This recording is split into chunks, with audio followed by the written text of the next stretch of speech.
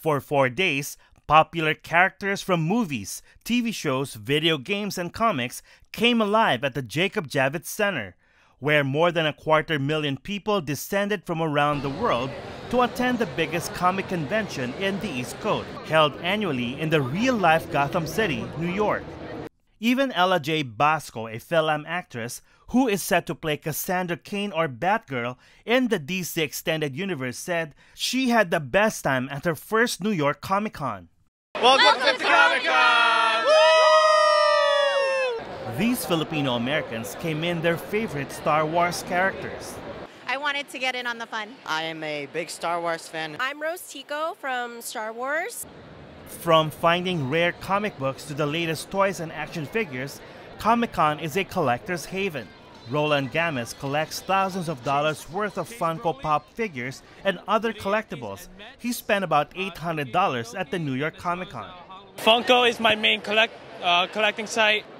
Meanwhile, the Artist Alley showcases works of art from artists and designers from around the globe, including the Philippines. Filipino artist Raymond Bermudez said, The artists and designers are the lifeblood of this annual event. For first-timers like Bermudez, getting into the New York Comic Con allowed him to share his talent and art.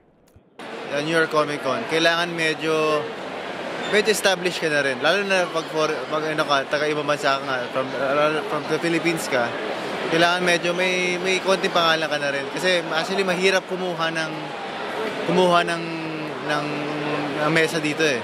Kasi screen ka talaga. And it wasn't easy to get into Comic Con. He was even denied an artist table two years ago. But Bermudez persisted and it paid off. For the past three days, I've been getting lots of offers. From a gathering of 30,000 in 2006, the New York Comic Con has grown into a billion dollar industry with at least a quarter of a million attendees every year. Fans, spectators, and artists who always want to be part of this world of make believe. Don Tagala, ABS CBN News, New York.